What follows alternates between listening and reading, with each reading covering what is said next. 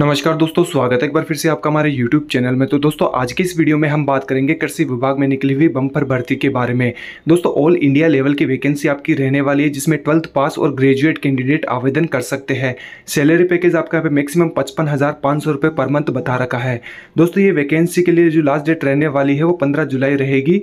इसके अलावा आपको बाकी की अदर डिटेल अगर आपको जाननी है तो वीडियो को शुरू से लेकर के एंड तक ज़रूर देखेगा अब दोस्तों, यहाँ पे बिना किसी देरी के करते हैं, वीडियो को स्टार्ट तो दोस्तों वैकेंसी के बारे में सारी डिटेल जान लेते हैं। किसान कल्याण तथा कृषि विभाग की तरफ़ से जो वैकेंसी निकाली गई है, उसमें कौन कौन सी पोस्टें रहने वाली है, पूरा डिटेल में देख लेते हैं।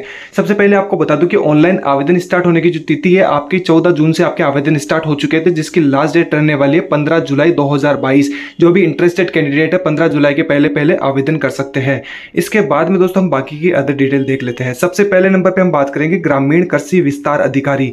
इसके टोटल मिला के उन्नीस पोस्टें रहने वाली है कैटेगरी वाइज भी मैंने बता रखा है कौन सी कैटेगरी में कितनी पोस्टें आपकी रहेगी। आपके दूसरे नंबर पे हम बात करेंगे कृषि विकास अधिकारी के। इसके टोटल मिला के पंद्रह पद रहेंगे। ऑल इंडिया लेवल की वैकेंसी रहेगी। तीसरे नंबर पे हम बात करने वाले हैं मानचित्र की।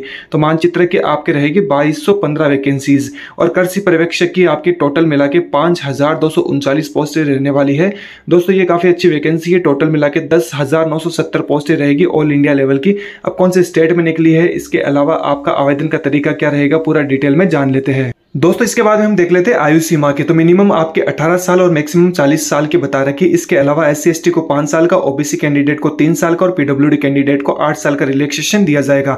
चयन प्रक्रिया आपकी ऑनलाइन लिखित परीक्षा कंडक्ट करवाई जाएगी। ऑनलाइन मोड ही आपका एग्ज़ाम का रहेगा। केवल एक एग्ज़ाम आपका होगा, उसके बाद में डायरेक्ट डॉक्यूमेंट वेरिफिकेशन कंडक्ट करवाया जाएगा और कुछ पोस्टों पर आपका इंटरव्यू भी होगा। इसके बाद में आवेदन शुल्क की दोस्तों, अगर हम देखें तो जनरल ओबीसी ईडब्ल्यूएस उम्मीदवार के लिए दो सौ वहीं एस महिला और शारीरिक विकलांग कैंडिडेट्स के लिए सौ आपके मात्र ऑनलाइन चार्जेस लगेंगे। दोस्तों, आवेदन कैसे करना पड़ेगा, इसके लिए आपको बता दो कि जो कृषि विकास कल्याण मंत्रालय की ऑफिशियल वेबसाइट रहने वाली इन वहाँ पर जाके आपको वैकेंसी के बारे में सारी अपडेट मिल जाएगी। योग्यता की अगर हम बात करें तो ग्रामीण कृषि विस्तार अधिकारी के लिए ग्रेजुएशन मांगी गई है मिनिमम क्वालिफिकेशन एग्रीकल्चर के साथ में। वरिष्ठ कृषि विकास अधिकारी के लिए भी ग्रेजुएशन होना ज़रूरी है। वरिष्ठ प्राविधिक के लिए आपकी ग्रेजुएशन होना ज़रूरी है। एग्रीकल्चर में मानचित्र की पोस्ट के लिए बारहवीं पास मांगा गया और सर्वेक्षण में एक साल का डिप्लोमा भी होना ज़रूरी है। और अगर कृषि पर्यवेक्षक के लिए बात करें तो एग्रीकल्चर के साथ में ट्वेल्थ पास होना ज़रूरी है किसी भी रिकॉग्नाइज बोर्ड से।